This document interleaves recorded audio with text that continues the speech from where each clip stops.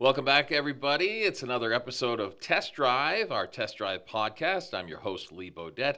We're going to talk about one of the most recognizable American sport cars in history today on this podcast. With me is Scott Nickerson, who is part of Sport Car USA. Scott, give us a little bio of yourself. Yeah, so uh, part of the reason that this episode is uh, so close to home is Lee and I have worked on the YouTube series Test Drive, where we kind of dive into the history of all these cars. Uh, so I'm I'm kind of a, a, part of creating all that content and writing scripts and shooting all that with Lee. So we kind of both felt like we worked with all of this information pretty closely for a while. Yeah, yeah, and really, you're kind of like the producer of Sport Car Yeah. USA. When we do the test drive, Scott's right Yep. there. He's the camera guy. He's the guy saying lights, action, that kind of thing.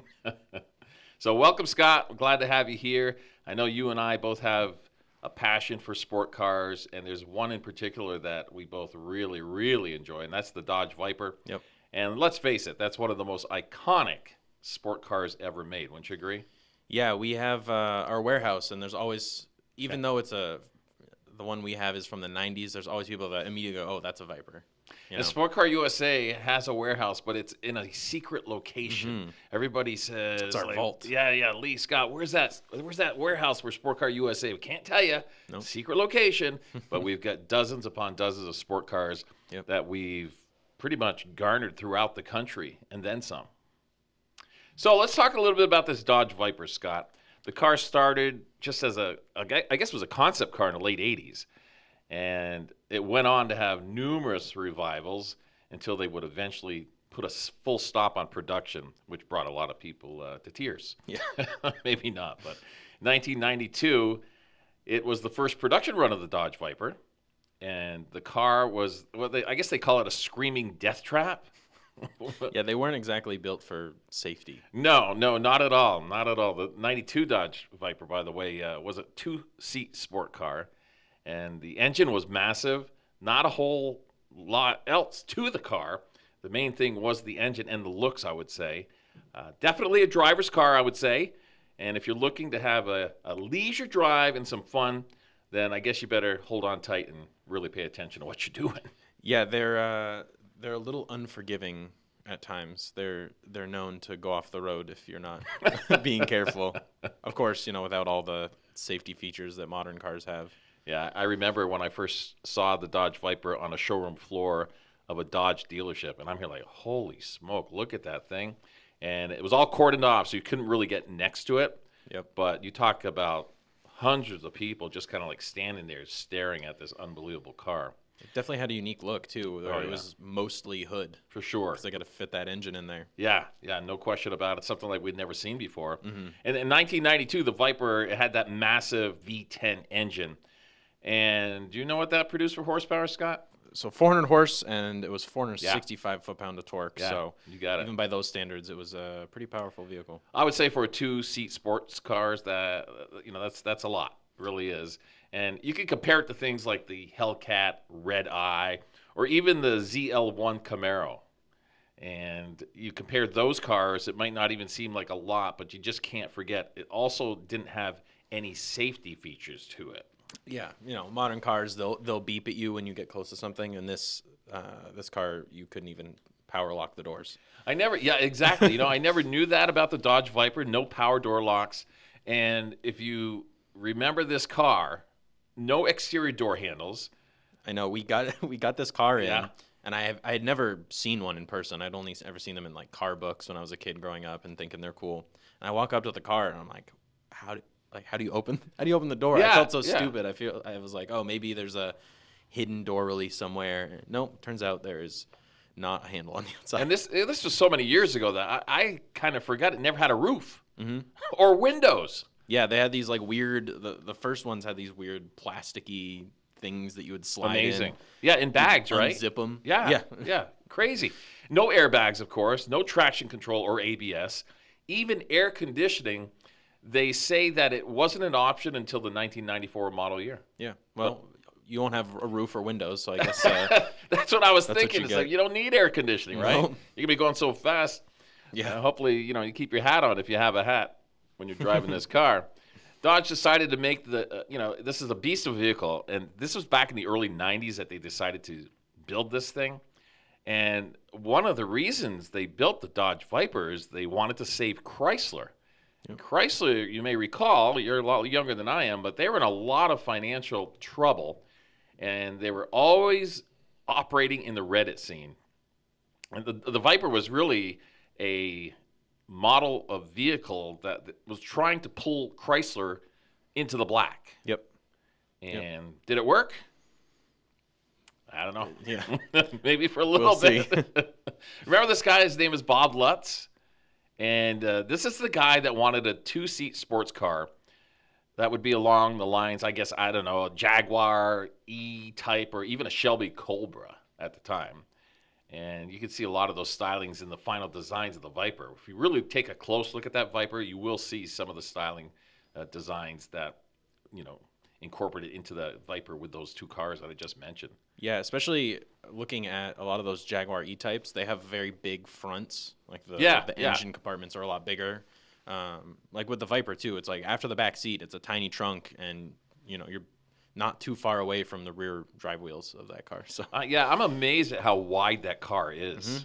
because I- like like say if you're in the streets of Boston, okay, you know how narrow don't the streets park- are. There's just no way. I can't imagine paralleling a car. Like cars coming at you, you know, the opposite direction. I don't think there's room for two cars uh, in a like a Boston side street kind of Yeah. thing. So they also um, met this guy. His name was Tom Gale, and Tom Gale. I, actually, you know, Tom Gale was already there at Chrysler, so it was Bob Lutz and the other crew members, as I call them. They got together with Tom, and Gale said, "Hey, you, you guys have free reign over this project." So Gale started as an engineer at Chrysler, then later became part of the design team. Which, uh, if I had to be on a team, that's the that's the team I'd want to be on, the Right. design team. sounds like a lot of fun. yeah, you probably start out with clay, right? Yep. So, Yeah, they made these giant clay models of the a car. It's yeah, it's wild. yeah. But Gale, he designed a lot of the Chrysler models, even like the the Dodge Ram pickup series, minivans, and even I love this car, the Chrysler Prowler. They don't make cars that look like that anymore. No, no, Maybe no. for good reason. I knew a guy that had a Chrysler Prowler, and it was purple. Why not? Every, exactly. Why not? Everywhere this guy went, it seems like he had throngs of people. Oh, just you know. If you're gonna have a car that looks like that, you might as well double down. Oh my goodness! Make it yeah, purple. yeah. That was such a cool car, and even the Lamborghini Diablo Yep. is part of the models that um, this Gale guy worked on and helped conspire.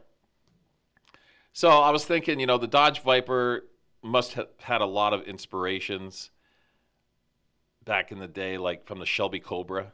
You know, we've done series on uh, the Shelby um, and, and all of the great cars that Shelby has produced. So I guess they wanted to build something that would compete like in that space. Mhm. And as a result, Carroll Shelby, who's renowned and just beloved by so many people, passed away unfortunately a few years ago. He was a consultant on Team Viper. I don't think a lot of people know that. No, I mean you always think about Dodge and, and Viper, or sorry, Dodge and Ford as competitors. Hmm. Yeah. So the fact that he kind of worked on both of those, uh, you know, a lot of people would think that they are kind of competing in a similar space. They had this show, the, the North American International Auto Show, which is very famous, very well attended. And that's when the first Viper prototype was built, way back in 1989.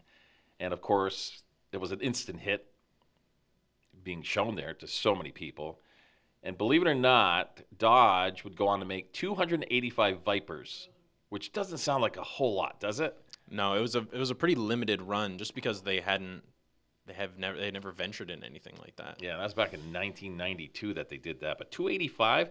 But I guess I, I, when I think of something like that, I think of like the um, DeLorean. They didn't make too many of those either. No, I can imagine uh, having one of those Vipers. If you have it in really good shape, I can only imagine what it goes for. Yeah, yeah. Chrysler, I never knew this. They own Lamborghini and other sport cars that the Diablo had in production. I guess it was around 1994 that Chrysler sold to an investment group. And that whole idea of the massive V10 engine, that pulled from Lamborghini as well, had to. Mm-hmm. They called it Team Viper. And it used some of the same members from the Lamborghini team to construct the Viper, which made a whole lot of sense. And then there's that Tom Gale guy again, as I mentioned earlier. He had reign to do whatever he wanted with that project, and he was the really responsible for the exterior design, the unique exterior design of both the Diablo and the Viper. You look back at Dodge Viper's engine block, Scott, and it was converted from their Iron Block V10 that was originally for Dodge trucks, and then they adapted it into a lighter aluminum block for their new dynamic sports car. Yeah, I uh, my dad, growing up, we had one of those.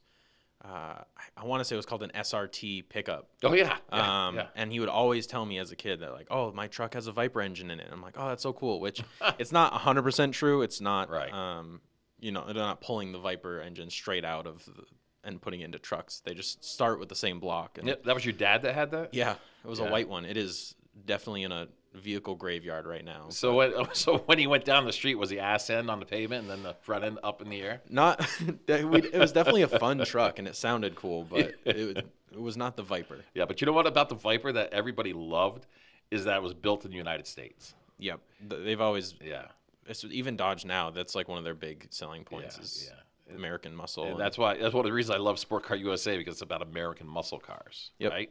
So, but the Viper, it went through so many errors of design and features over the years. I don't think anybody has any idea what this car's been through. But there's one thing that they never changed, and that it was American made, raw muscle, right? Yep. So love it, love it. 96, Dodge released the Viper GTS. Now, with this model, we saw a few new features pop up. Like, believe it or not, they had exterior door handles. Woohoo! you could get into the vehicle. Yes, finally. uh, I'm not done yet. Standard air conditioning, windows, and an actual roof in 1996. I guess the roof had to have a, a special design, or was a special design, and it, it even had a name. It's called the double bubble roof. Never knew that. Yep. Wonder where they came up with that. Maybe a lot of double bubble gum Yeah, at the time was popular. I, I don't know, but uh, the roof design uh, it gave the driver and the passenger more headroom, which was nice, and they did that because a lot of them were wearing helmets Yep. It was a big track, track Right. forward vehicle. and did very well on the track, right? Mm-hmm. Yeah. So it was, it was made in the coupe, of course, the, the Dodge Viper GTS. And al- although it did look similar in design to the original, the GTS only shared about 10% original parts. So the new design was much more aerodynamic, less of a death trap when cornering, especially. And the GTS also added the first full length exhaust. No longer had the signature side ex- exit exhaust. That's a si- signature side exit exhaust, easy for me to say, than its predecessor. Yep. So I guess that means you won't get burned on the ankles anymore. Yeah, I know. that was such an interesting design to have a hot pipe come out right where you get into the vehicle. But they Yeah. they added a little bit of horsepower onto the '96 model too. They added uh, 50 extra horsepower, so it was it was slowly creeping up and getting a little more powerful. And and yeah, they no longer burned your calves. You remember the Corvettes, the early Corvettes that had the side exhaust? You Yep. had to be real careful getting out. Yeah, they get hot, especially a car like that. Oh, You're yeah. gonna be hammering on it. Yeah, definitely very toasty on the legs Yeah. if you aren't careful. So back in 1999, when, when you go up a few more years from what we've been talking about, Dodge released the Viper ACR. The ACR stood for American Club Racer, and it was a race car. The ACR had BBS wheels. They had the, that upgraded suspension, and I guess that included a five-point racing harness. Dodge taking this car more and more toward track performance and trying to make it street legal race as well, which is not mm-hmm. always an easy thing to do. Right. That's you know like what Dodge is doing now. They have their um their Dodge uh what is it the Dodge Demon 170, which is like their final run, which is a thousand horsepower Challenger that you can put a drag racing parachute on, Oh yeah, but also it's street legal. Yeah. So this was like you know they're kind of doing the similar, love that. not to the extreme that the Challenger is, but Yeah, yeah. You look at like today's sport cars. I own a Corvette, a 2020. It's the mid-engine, and it's zero to 60 in 2.8 seconds. Yep. which is screaming. It really is. I, I, that Corvette that I have, it's not the fastest car, but it's one of the quickest cars out there. I mean, 2.8 is very, very quick. Mm-hmm. The ACR, getting back to the Viper, it had a 060 in 4.5 seconds. which is not slow. no, it is That's- not. That's you're still gonna feel it. You're gonna get pinned to your seat with that still. Oh, no question. You're gonna be sitting right back in your seat Oh, yeah. for sure. And the top speed was 180 miles per hour. Again, pretty fast by today's standard. But in '99, that was like oh, blow off the doors fast. Yeah, there wasn't a lot of times you were going 180 miles an hour. Yeah. And Dodge actually partnered with a racing team to develop the Viper into a real race car in 1999, and they did that to further develop the GTSR. Man, there's no way I can remember all these. There's a lot I've, got, I've got a lot of notes here, Yeah. friends. I really do. Two year span uh, with the GTSR, they won 16 out of 18 races, and it really became a dominant force on the racetrack. Unbelievable. Jump up to 2003. It'd be one of the first major facelifts of the Viper. This is when the headlights became more aggressive. The body style looked a little bulkier, if you can imagine, because it already was bulky as far as I'm concerned. But they added 50 horsepower to that 500 horse. Uh, that's what I guess that's what it ended up being 500 Yep. horse. Yeah, so it started. The first gen was four, 450, and then they slowly increased it up to five for this Okay, year. right. And then I guess in 2003 to 2005, that time frame, Viper became only available in a convertible. Yep. You still have to wear helmets. I, I would. I- I'd wear a helmet even if the Viper had a roof. I know, don't and I wonder how that that car handles. I know it's track ready and uh, a lot of track experience, but on the open road, I've never driven one. Right. Did you drive the one that Sport Car USA has? I didn't. Very few people drove it. Yeah, yeah. Well, th- that might be a goal of ours this spring and summer for sure. Take it for a ride. The 06 Viper model would, would return the GTS Coupe, and they, you know, that's the one that had the hard top. But unfortunately, in, in seven, 2007, the Viper would go out of production because, believe it or not, Scott, Chrysler was once again in thought? financial trouble. I just remember seeing Lee Iacocca on all those commercials trying to save the company. Please, please buy a car. yes, pretty much.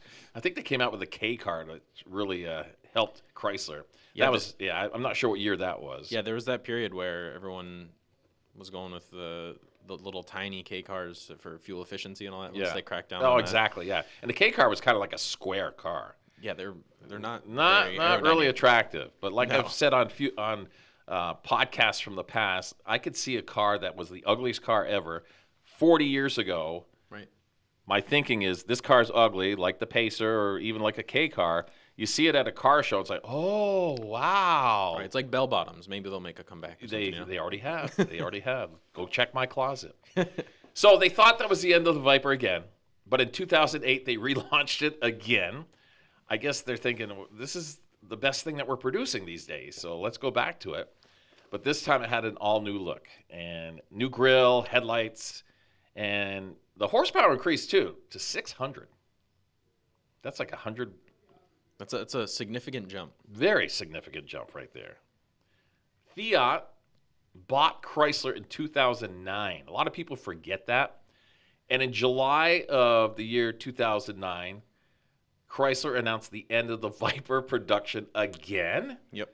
And just when you thought the Viper was back, it's gone again. Yep. They they they were like, all right, no more Viper. A Year later, like, just kidding, we're gonna do the Viper again. And then after that year, they're like, uh, never mind. Well, I guess you got to look at it. The Viper was It's not like everyone's buying a Viper. Exactly. It, it's it's uh, it has its own niche, Mhm. and two seater.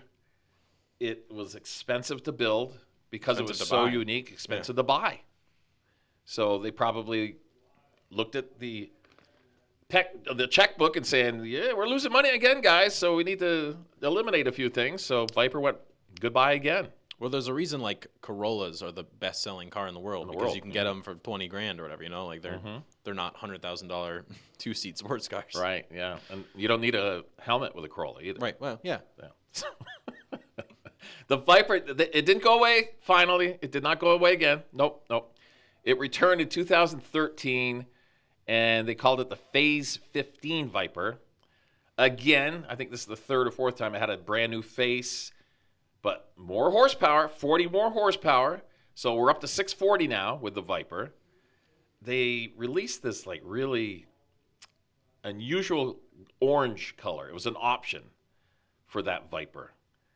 The ACR model made its return, and it was a track monster. I mean, it produced 1,700 pounds of downforce, became the sixth fastest production car in history, and the Viper dominant on the track, and it competed with some of the world's fastest sports and hypercars. Yep. Yeah. I mean, leave it to Mopar to do Yeah, to do that. Like going back to that Challenger again, they're like, what do we mm-hmm. need to do that is so excessive that nobody needs? yeah. And then we'll do it times ten. Well, Sport Car USA sells a lot of Challengers. they're yeah they're I mean, popular. They're very popular. well, they have that old style look a little bit to them Yeah. too. They still have that like classic muscle shape. And you know what? They never really changed, except they made the wide body. Yep. But the actual look of the Challenger They haven't when been it too came back, drastic. as yeah, not at all, not at all. I always, changes. I always loved the front end of the Challenger, and the back end I didn't care for that much, or I don't care for that much. But it's not awful. It's a good-looking car. I like the Charger Yeah. between the two. Yeah, the They're- Charger. Yeah, and they're quote unquote practical, I guess. Yeah, well, when I pretend to be a police officer, I borrow the Charger that Sport Car USA has, and you know, darked out windows, etc. The, but the Viper did uh, die again. It did.